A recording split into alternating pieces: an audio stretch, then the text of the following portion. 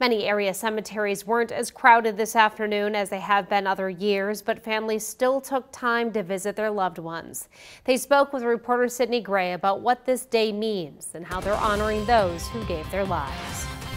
It's a day of remembrance and reflection. Veterans, families, and friends paid their respects to loved ones at cemeteries in Omaha and Bellevue. Joel Babb, who's an Air Force veteran, came to the Omaha National Cemetery to visit his father, who died in 2017. He was in the Korean War, and and uh, I wish I was able to get up here as much as I should be, but I'm up here today on Memorial Day, and and um, miss them. You don't, you don't really realize how much you miss somebody until they're gone. Many people showed up, but most kept their distance. Crowds were smaller at the Bellevue Cemetery. Well, this is different because normally there would have been uh, a lot of people roaming around. There are a few people here now, but it's a very small crowd. Retired Air Force veteran Robert Rose says this day makes him grateful for his life.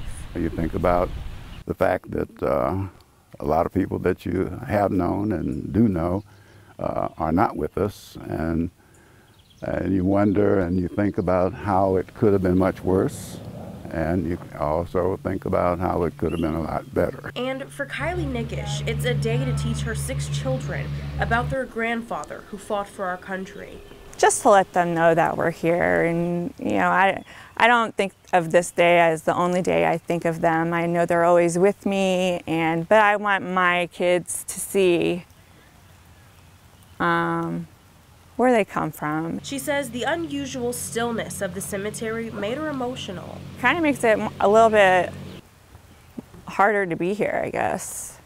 Yeah.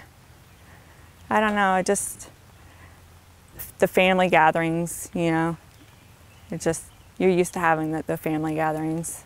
The pandemic couldn't stop people like Nickish from showing love for others who gave all. In Omaha, Sydney Gray, 3 News Now.